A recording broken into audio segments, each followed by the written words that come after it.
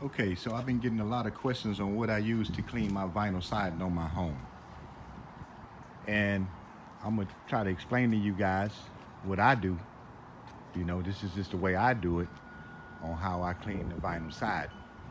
Uh, mine is really not too bad, but if you can see it, let's see if I can zoom in. You see that black stuff on it? Up there and up there that's called allergy and mildew. I don't know what causes that, maybe the weather or the shade or if it's natural or whatever the case may be. But what I do is,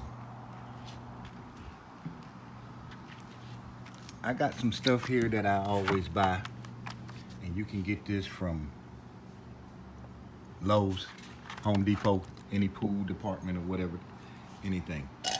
And I take this and this have a pH level of 11 and it has 10% sodium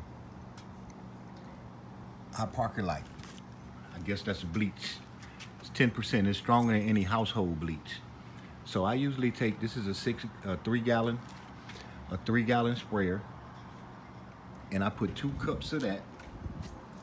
You can see I don't have a tripod or anything. And I put two cups of that per one gallon of water. And I put this detergent in it, about two tablespoons or two teaspoons or whatever. And uh, I mix it with that. And I just spray it. Start from the top. Got to get my ladder from over there, but I start from the top. And I just spray it down and I come back and wash it. I use the water hose to do it. I got a, a pressure washer right there, but I'm not going to use it. So I just buy a case, man. The bottle is like three bucks. And uh, to me, it works better than any dollar store bleach. Uh, and yeah, that's how I clean my home. You know, a lot of people got different ways of cleaning their home, but this is how I clean my home.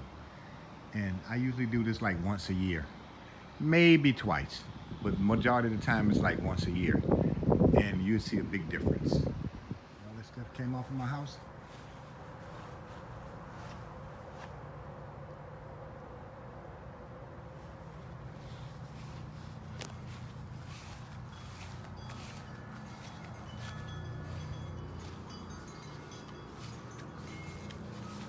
All that black mildew, that's all it takes, just a little bit.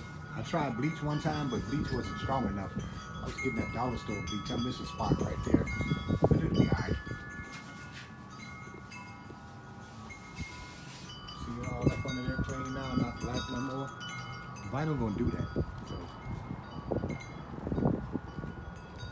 if you clean it once a year or once every six months, or you can pay somebody to wash your house. I just do mine because I have one story.